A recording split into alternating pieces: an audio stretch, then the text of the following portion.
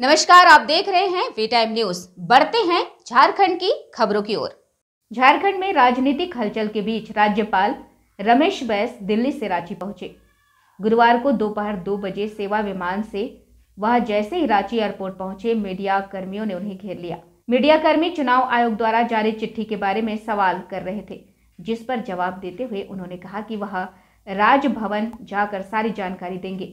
गौरतलब है कि झारखंड के मुख्यमंत्री हेमंत सोरेन की सदस्यता रद्द होने की घटना पूरे देश में सुर्खियाँ बनी हुई है। प्रॉफिट ऑफ़ ऑफ़िस के मामले में मुख्यमंत्री की सदस्यता का मामला चुनाव आयोग भारत सरकार के पास था।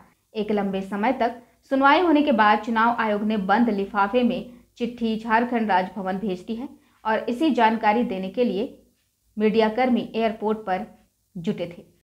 मेरे को अभी तक पता नहीं है। मेरे को पता नहीं है कि कोई आर्डर मेरे पास आया है। मैं अभी मिसेस को ट्रीटमेंट के लिए मैं गया हुआ था। मैं दो दिन अभी एम्स में था, लेकिन मेरी जानकारी भी नहीं है कि कोई निर्णय हुआ होगा। अब राजभवन जाऊँगा, अगर यहाँ आया होगा, तभी मैं बता पाऊँगा।